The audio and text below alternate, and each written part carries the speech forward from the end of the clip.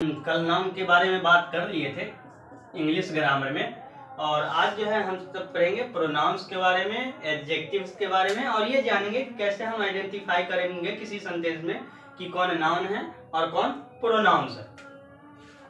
अब नाउन की बात हमने कल कर चुका था कि नाउन क्या है तो नाउन ए नेमिंग वर्ड। किसका नेम है?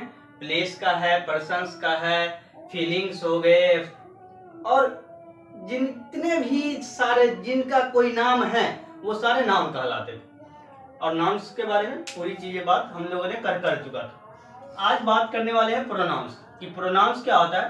तो words use in place of noun. ऐसे वर्ड्स जो नाउन्स की जगह उपयोग में आते हैं, उसे प्रोनाउंस कहते हैं। जैसे यदि एग्ज़ाम्पल के तौर पर यदि समझा जाए, यहाँ कह रहा है, Ram is good boy, but Ram is ill. अब यही सेंटेंस राम जो है, एक गुड बॉय है, यानी अच्छा लड़का है, लेकिन राम इजिल, राम बीमार भी है। अब राम अच्छा लड़का है, लेकिन राम बीमार यहाँ राम जो है दो दो बार यूज़ किया गया। इसी राम की, के बदले ना फ़र्स्ट में तो राम है तो Ram is good boy but he is ill Ram जो है अच्छा लड़का है लेकिन वह बीमार है। तो यहाँ जो वह आया है, ही आया है, ये किसके लिए है? राम के लिए। तो यही, राम के बदले में हमने क्या लगाया? ही। यही ही क्या कहलाया? प्रोनाउंस कहलाया। तो ऐसे वर्ड्स जो नाउंस के बदले यूज़ किए जाते हैं, प्रोनाउंस कहलाते हैं। अब ये बात हो गई प्रोनाउंस की। तो प्रोनाउंस की एक फॉर्मेट है इधर, जो आपको दिख रहा हो। ये क्या है? इसमें पर्सन्स को शो किया गया है। First person second person third person तीन पर्सन होते हैं। अब तीनों पर्सन में, है ना दो दो तरह के नंबर्स होते हैं। फ़र्स्ट होते हैं सिंगुलर नंबर और सेकेंड होते हैं प्लूरल नंबर ये दोनों में फ़र्स्ट पर्सन सेकेंड सॉरी तीनों में first first person second person और थर्ड पर्सन तीनों में जो है सिंगुलर प्लूरल सिंगुलर प्लूरल तो फ़र्स्ट पर्सन किसको कहेंगे? जैसे मैं। अपनी खुद की बात यदि कोई कर रहा है तो वो फ़र्स्ट पर्सन में आएगी। और फ़र्स्ट पर्सन का सिंगुलर में सब्जेक्ट क्या होता है? आई होता है। वही फ़र्स्ट पर्सन के सिंगुलर का जो ऑब्जेक्ट बनाएँगे, उसका ऑब्जेक्ट क्या होता है?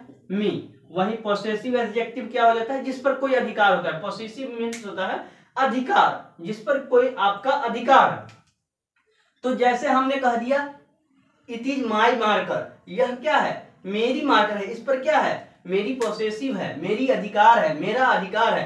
तो ये क्या हो जाएगा? पोसेसिव एडजेक्टिव की बात हो गई माय तो आई का पोसेसिव एडजेक्टिव माय और वही पोसेसिव प्रोनाउन क्या होता है? माइन उसी प्रकार प्लूरल में बात करेंगे। जैसे हमने बात किया, खुद की बात करेगा, यानी एक व्यक्ति की बात हो रही है, वहीं पर वो फ़र्स्ट पर्सन की बात हो गई। वहीं एक से ज़्यादा हम लोगों की बात हो रही है, हम सारे लोगों की बात हो रही है तो वो प्लूरल बन जाएँगे किसके? आई के।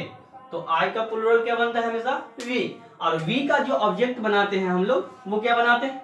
अस बनाते हैं।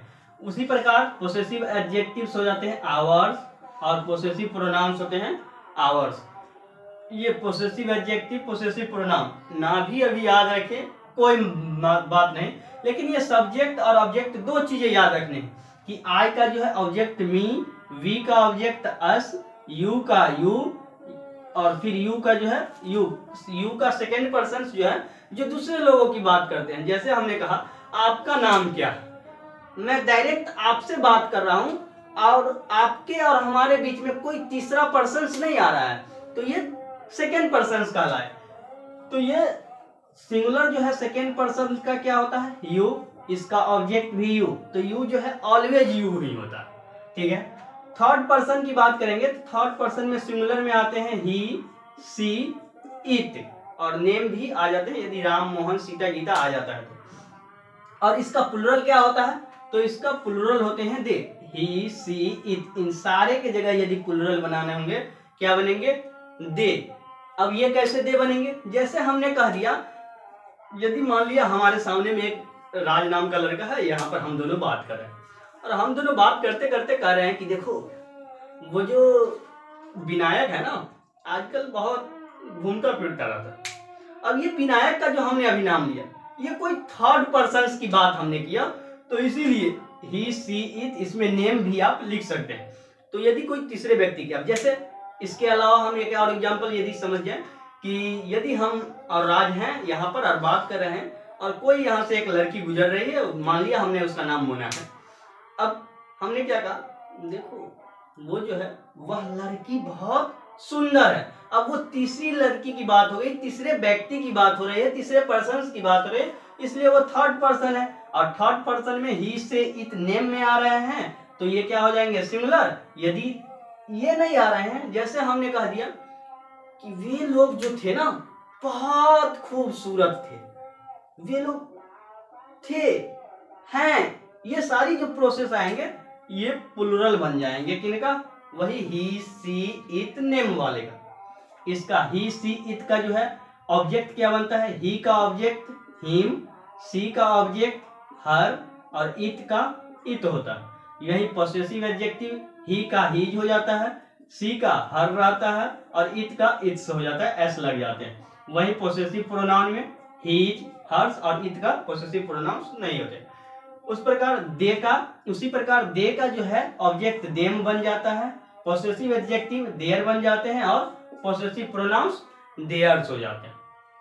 अब ये सारी बातें हमने कर लिया नाउन्स प्रोनाउंस अब नाउन्स प्रोनाउंस की बातें कर लिए हैं। अब तीसरी बात है, वो है एडजेक्टिव्स की। तो आज हम एडजेक्टिव समझेंगे और उसके बाद जो है हम आइडेंटिफिकेशन समझेंगे कि कैसे हम पहचानेंगे कोई, कौन सा नाउन है प्रोनाउन है और एडजेक्टिव्स है।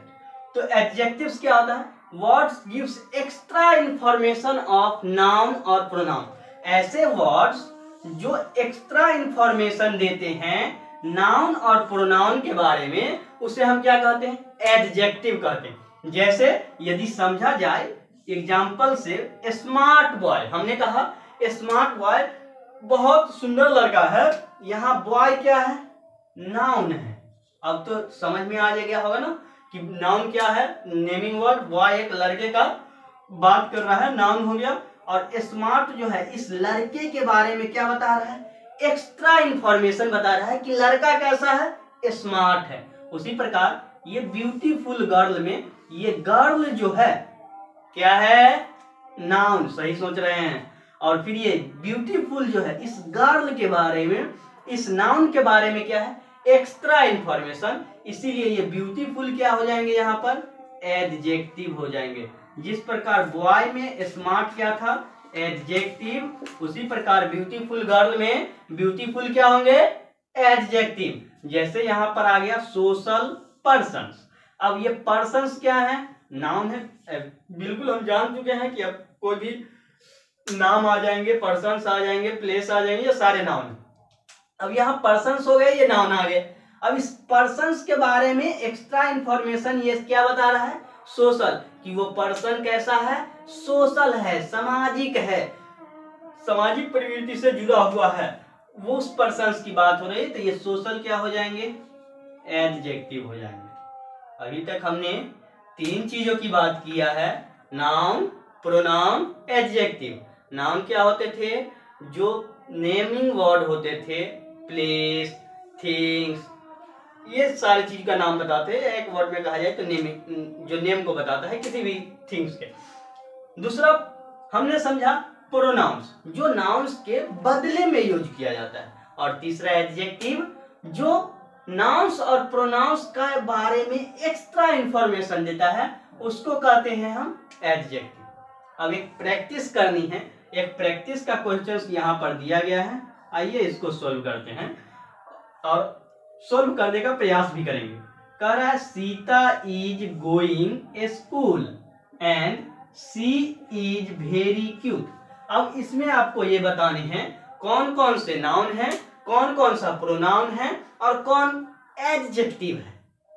चलिए, आते हैं यहाँ सेंटेंस पर। Sita is going school Sita school जा रहे हैं। एंड और सी इज़ वेरी क्यूट वह क्या है? बहुत क्यूट है। अब यहाँ पर सीता क्या हो जाएँगे? नाउन इज़ हम जानते हैं हेल्पिंग वर्ब है गोइंग क्या है? मेन वर्ब मेन वर्ब का आईएनजी फॉर्म है। स्कूल क्या है? ये भी एक नाउन है, लेकिन जब सेकेंड नाउन आते हैं तो वो क्या बनते हैं? ऑब्जेक्ट तो ये ऑब्जेक्ट भी है बट ये नाउन है। कोई दिक्कत नहीं। एंड ये एंड जो है ये दो सेंटेंस को जोड़ने का काम कर रहा है। कंजक्शंस का काम कर रहे हैं। फिर, अब यहाँ जो ये सी आए, ये सी क्या है? ऊपर का टेबल दिख रहा होगा। देखिए, ये प्रोनाउंस की टेबल्स दिख रहे हैं, जिसमें first person second person third person तो सी जो है, यह किसके बारे में आया है? सीता के बारे में। कि वह क्या है? सीता जो है स्कूल तो जा रही है, लेकिन वह क्या है? वेरी क्यूट है, वह बहुत सुंदर है। तो सी, सीता के बदले में यूज़ किया गया है। तो ये क्या है? सी प्रोनाउन उसी प्रकार इज़ यहाँ पर क्या हो जाएँगे? मेन भर वेरी क्यूट अब यहाँ पर वेरी क्यूट जो है, यह किसके बारे में बता रहा है? ये क्यूट जो है, यह बता रहा है कि वह क्यूट है। कौन क्यूट है? सीता क्यूट है। और जो नाउन या प्रोनाउन के बारे में एक्स्ट्रा इंफॉर्मेशन देता है, वो क्या होता है? एडजेक्टिव कुछ समझे? नहीं, पल्ले पड़ा। अरे, पल्ले पड़ेगा ये सी क्या है? प्रोनाउंस और ये प्रोनाउंस किसके लिए आया है? सीता के लिए। तो सीता के लिए सी प्रोनाउंस है, और प्रोनाउंस का एक्स्ट्रा इंफॉर्मेशन क्यूट है। कि वह कैसी है? क्यूट है। और जब यह एक्स्ट्रा इंफॉर्मेशन दिया तो क्या हो गया? एडजेक्टिव हो गया। अब बात आता है कि सर ये भेरी क्या है? अब ये भेरी किसका एक्स्ट्रा इंफॉर्मेशन बता रहा है? एडजेक्टिव का बता रहा है। और जो एडजेक्टिव का एक्स्ट्रा इंफॉर्मेशन बताता है ना, उसको एडवर्ब कहते हैं। तो यहाँ भेरी क्या है? एडवर्ब है। ये एडवर्ब के बारे में अगले वीडियो में हम चर्चा करेंगे। नेक्स्ट क्लास में तो यहाँ पर हमको ये समझ में आ गया।